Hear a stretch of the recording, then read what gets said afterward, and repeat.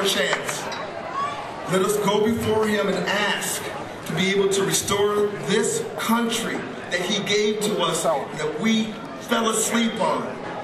Let us talk to our neighbors and friends with love in our heart about the principles that made this country great. Let us work hard to preserve freedom for the next generations. Ladies and gentlemen, we're here. This is our day. This is our time. We've had generations that fought for this country in the past, that shed their blood for the very freedoms that we squandered, but it's not too late. That's why you are here. That's why Americans are meeting all across the country. Let us listen to the speakers. Let us talk to one another.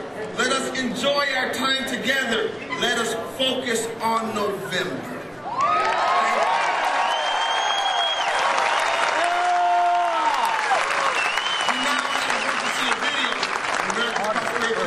Tone, and I'll be back up to, to announce the round of speakers who will be coming out. All right, let's let's give the video a round of applause. Come on.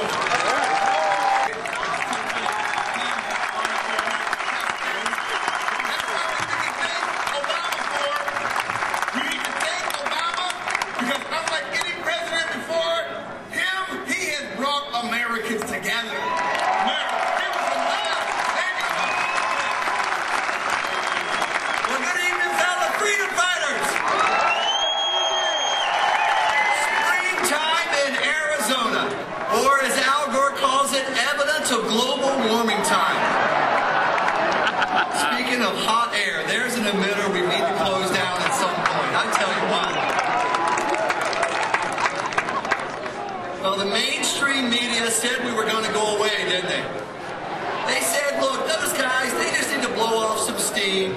They need to get rid of some of the anger and the bitterness. They're going to go out there and attend a few rallies.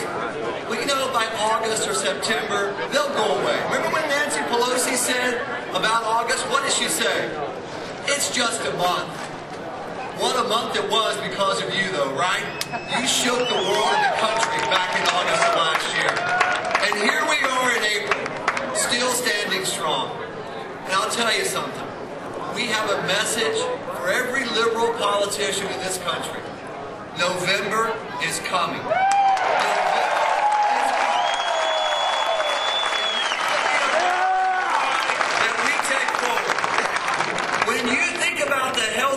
Travesty, all the backroom dealing, all of the arrogance, all of the big spending, the taxes, just remember three words. November is coming for every politician who voted yes on that health care.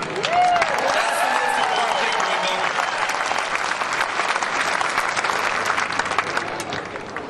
Whenever we're in a public policy fight like the one we just finished, politicians tell us by their deeds, forget their words, they tell us by their deeds where they stand. And we saw right here in Arizona with members of your House delegation, they really cast some of the deciding votes that let this health care bill go through. Now let's make sure we remember that November is coming for them, but not only for that.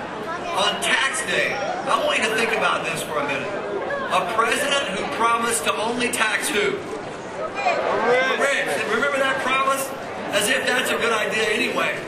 What he's, but the president who promised that in his first year and a half has now passed 25 tax increases, totaling $670 billion in just the first decade.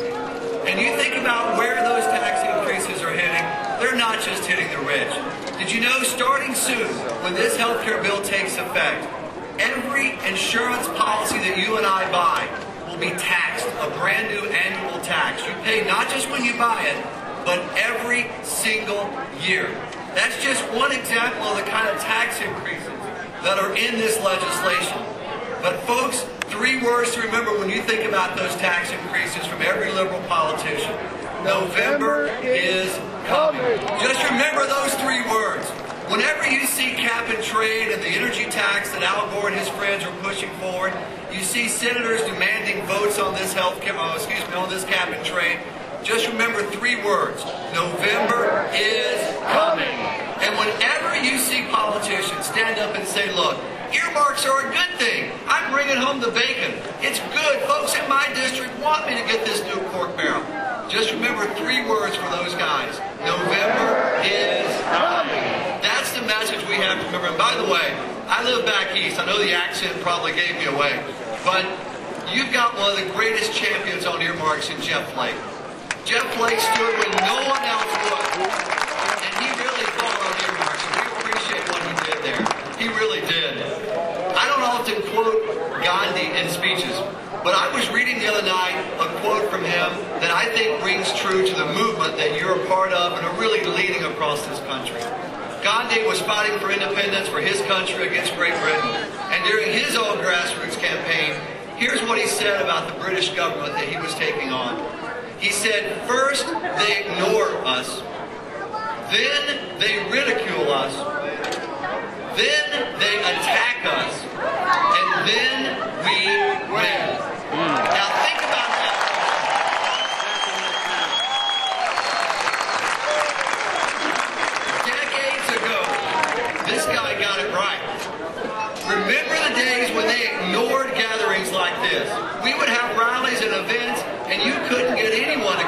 except News Talk Radio, and thank the good Lord above for News Talk Radio. Absolutely. And thank goodness for conservative bloggers and others who would put the word out, but they ignored us for a long time. And then the media and the liberals began ridiculing us. Remember the days of astroturf, and remember the days of saying we were evilmongers and, and bitter. And now they're attacking us in a way that is truly vicious. They're calling us everything from racist to homophobes to, to, to, to bitter, angry, un-American. Actually, our majority leader, Harry Reid, who's, not far from here, said, we're un-American for what we're doing. And the attacks are continuing. But if we persevere, if we keep fighting this fight, folks, we're going to win this battle for our nation. We're going to win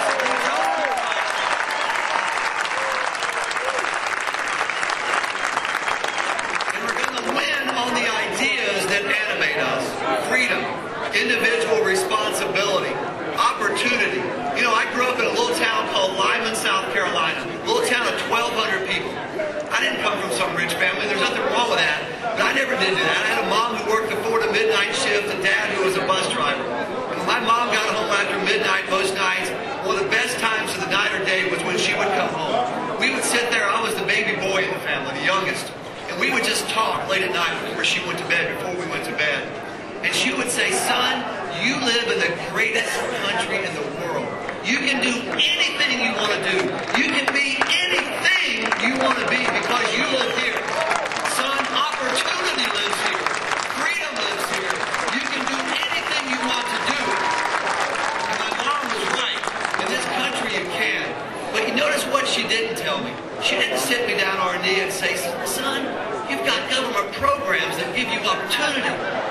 You've got a government bureaucracy that can make your life so much better. Why your American dream, son, is to be part of some liberal experiment to make your life better and to ease you along from cradle to grave. She didn't say that. I bet you're not saying that to your kids or grandkids either, are you? No, you're not. We want freedom. We want individual